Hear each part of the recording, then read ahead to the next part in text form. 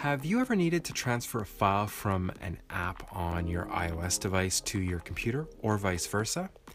Maybe you've got a video or a photo you want to transfer from the app to your computer without losing any quality, or transfer a document to your iOS device so you can work on it on the go. Here's how to transfer files between an iOS device and a computer using iTunes file sharing. Open iTunes and connect your iOS device to your computer.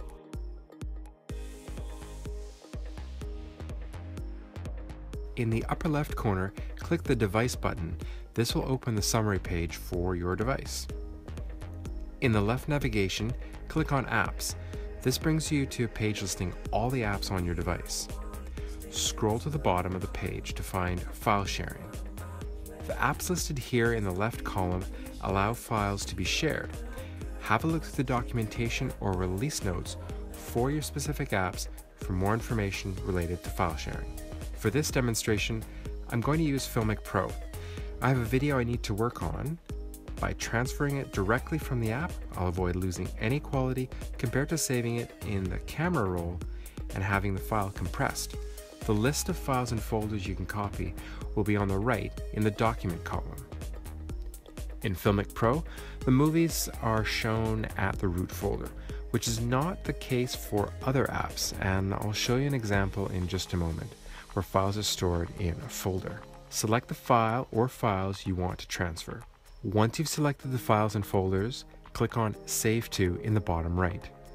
A Finder window will open.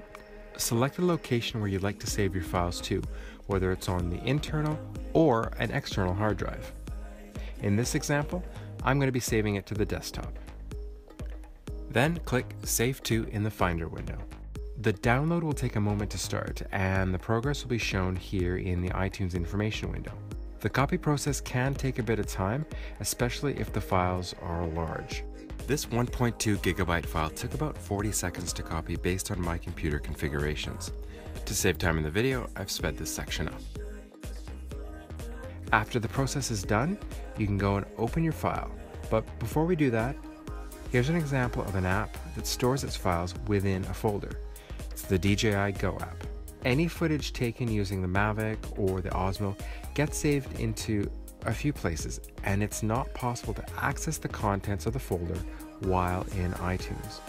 You have to download the whole folder to your computer and go through the individual files. In the DJI Go app, it's saved in these two locations, and in the DJI Go 4 app, it's saved in this location. Switching over to my desktop, there's the file I've copied. Now let's transfer a file from the computer to the iOS device so we can work on it on the go. For this example, I'm going to open up Pages and create a brand new document. And for demonstration purposes, I'm going to save it to the desktop.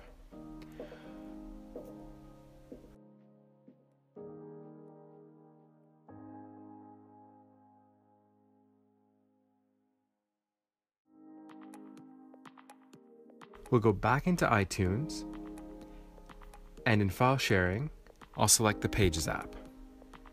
I'll click Add, which will open up a Finder window. Navigate to where you've saved your document or file. Select the file or files you want to transfer, and click Add. You'll see that the file is technically in iTunes, however, there's one more step we need to do on the iOS device to actually open and work on the file. Open the Pages app and tap on Locations and select where to copy the files from. In this case, I'll select iTunes. A list of files that are available to transfer will display. Select the one that you want. After it's copied over, you can open it up and there it is. Click Done to go back. It is also possible to delete files and folders through iTunes file sharing. However, I personally recommend deleting the files from within the app just to ensure that they are completely deleted along with any associated files. And there you have it, transferring files between your iOS device and your computer through iTunes file sharing. Do you have any advice on sharing files between your iOS device and your computer, or vice versa? Which apps do you use? Leave a question or comment in the section below. Thanks for watching. If you like this video, give a click to that thumbs up button, consider sharing, and please consider subscribing. Thanks again, and we'll see you in my next video.